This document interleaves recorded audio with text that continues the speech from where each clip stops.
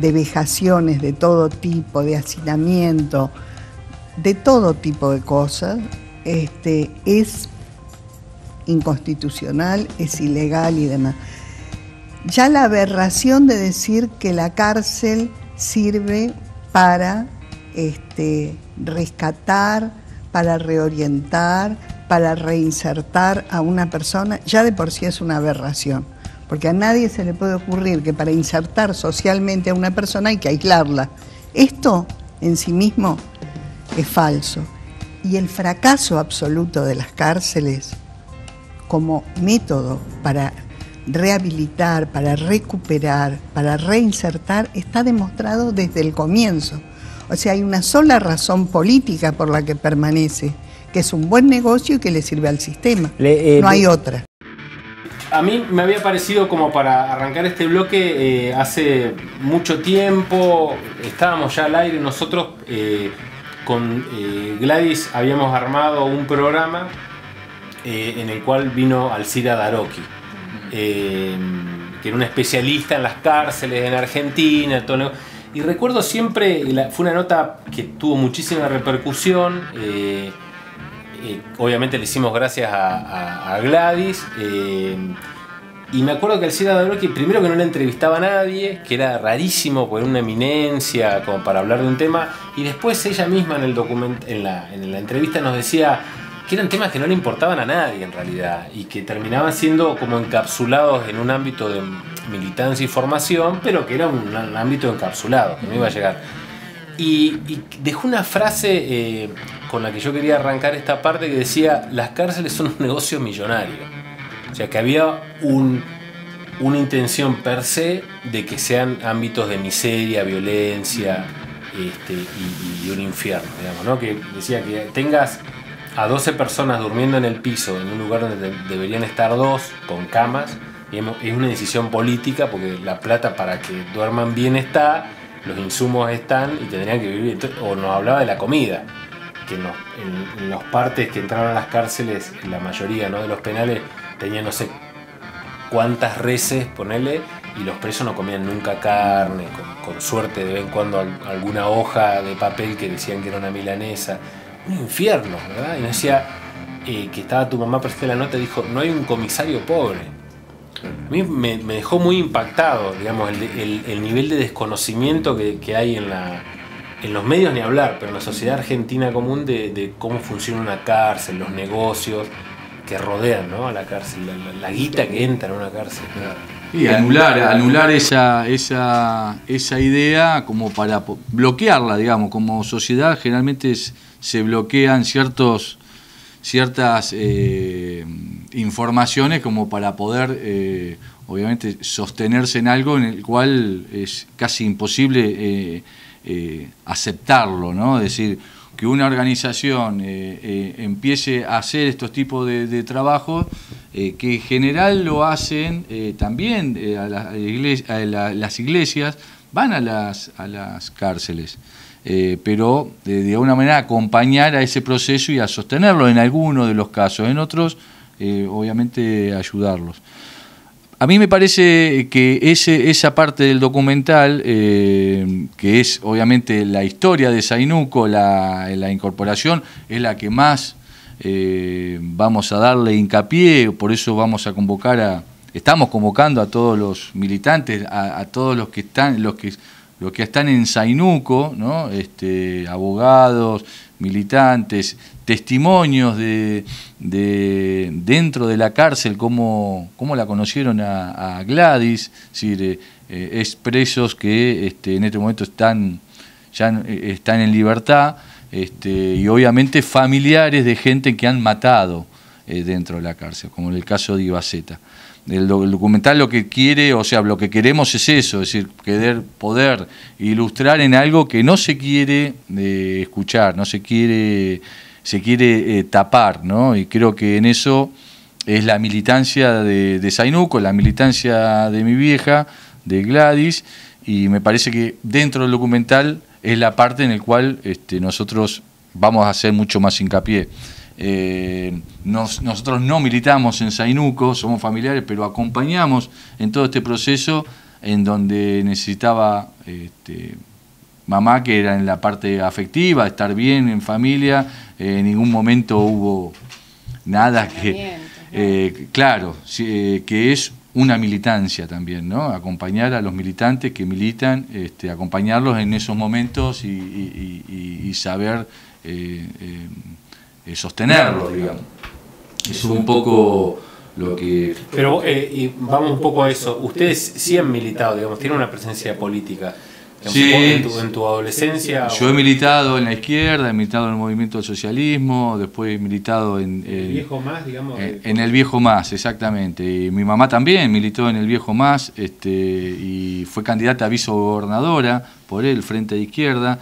Eh, digamos, hemos compartido también momentos de militancia eh, importante y no solamente los momentos, los momentos más difíciles, la huelga de la construcción del 84, la caminata de Piedra del Águila, conflictos docentes, la muerte de, Teresa, la represión de la huelga docente en el puente, manifestaciones eh, de todo tipo.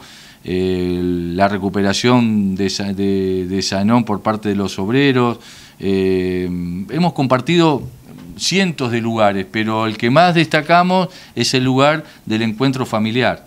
Por eso nosotros nos animamos como familia a decir, bueno, eh, ya que lo que veíamos era, bueno, necesita un reconocimiento. Claro, yo me refería a que la, militancia orgánica, digamos, por decirle algún nombre, sí tuvo tiene una presencia dinámica, por lo menos en, tu formación.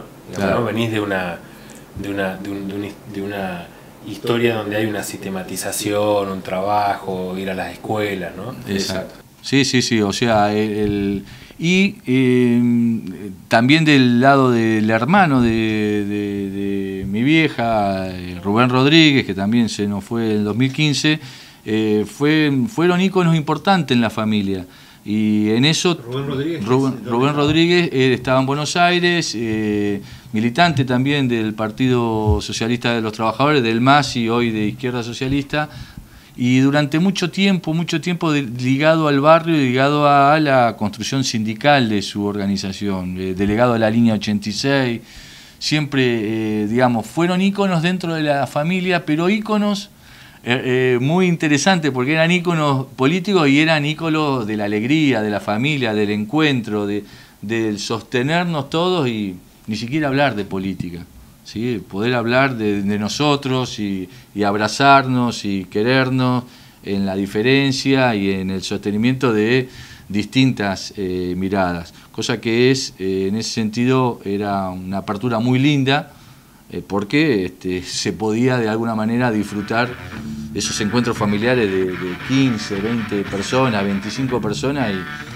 ni siquiera hablar de, política, ¿no? y después verlos militando a troche y moche por todos lados.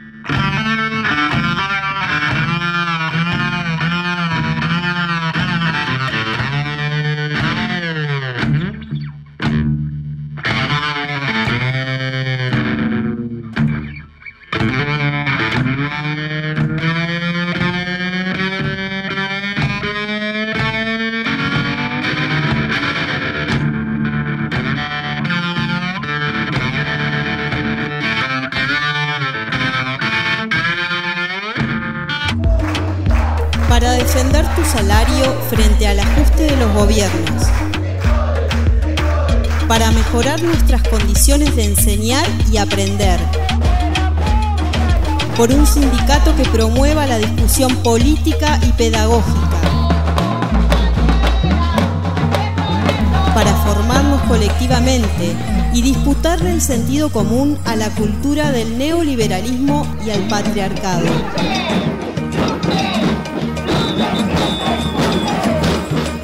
Te invitamos a ser parte. Afiliate. Aten Capital, en las aulas y en las calles, nuestros lugares de lucha.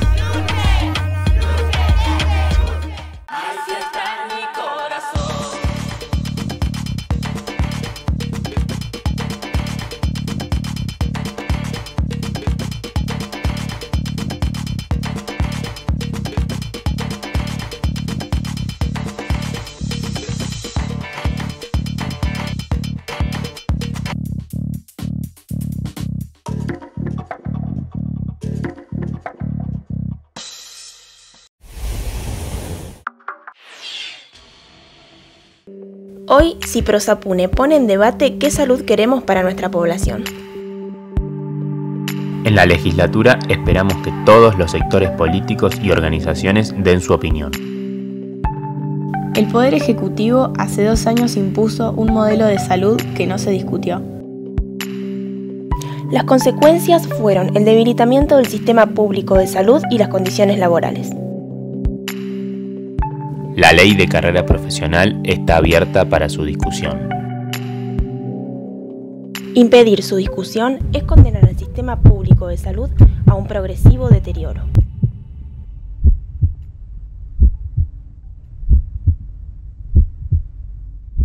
Defendemos los derechos de la docencia universitaria. Sostenemos que no hay problemas particulares que se resuelvan individualmente. Pensamos que la mejor forma de resolución de los conflictos es la lucha colectiva, porque logramos beneficios para todos y todas nuestras afiliadas, porque somos un gremio con una conducción femenina que además participa y convoca en diversas actividades organizadas en defensa de los derechos de las mujeres, porque confluimos con otros gremios y sectores de nuestra universidad y la sociedad en numerosas actividades y formas de acción colectiva, porque somos el gremio de la docencia universitaria nacional del Komau.